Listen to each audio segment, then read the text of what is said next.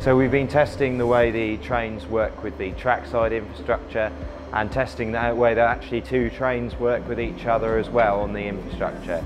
Uh, that's a bit of a struggle welding at the minute. Just a lot. We occasionally find little things that could be tweaked or things that don't quite work as we expected them to.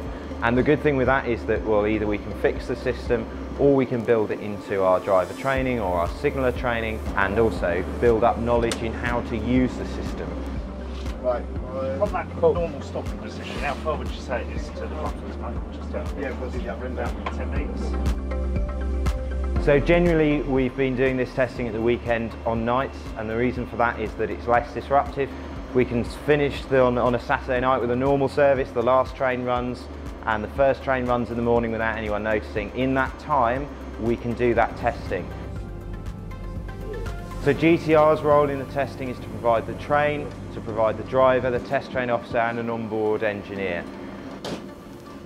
We make sure that that train is available for whatever Siemens want to do with it to make sure that their side of the system is working correctly with our trains.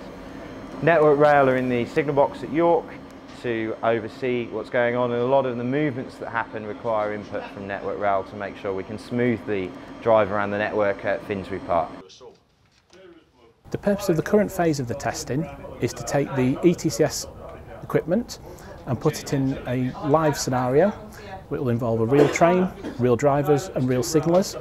What we're going to do is run through a series of uh, scripted scenarios which will allow us to see how the equipment responds and how the people involved respond. Can I go then? No problem. Thanks, gents.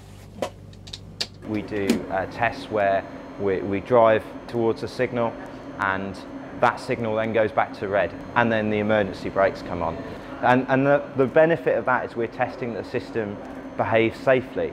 That's hard for a driver. It's, it's, it's like a boxer naturally pushing himself into a punch where they wouldn't want to do that. It's not a test you enjoy doing, but it's a test you have to do as a tester because you need, you need to understand that the system's going to work and bring the train to a stand safely in those scenarios. It's very exciting because we're, we're doing things that are leading the way for the East Coast. Um, so we're now working with the other operators on the East Coast, LNER, Grand Central and, and DB Schenker um, for, on the freight side as well, uh, to make sure that this testing goes forward onto the wider East Coast scheme and the lessons we learned here can benefit everyone going forward. And, and when this technology rolls out onto the East Coast main line, it will be a, a huge change for everyone.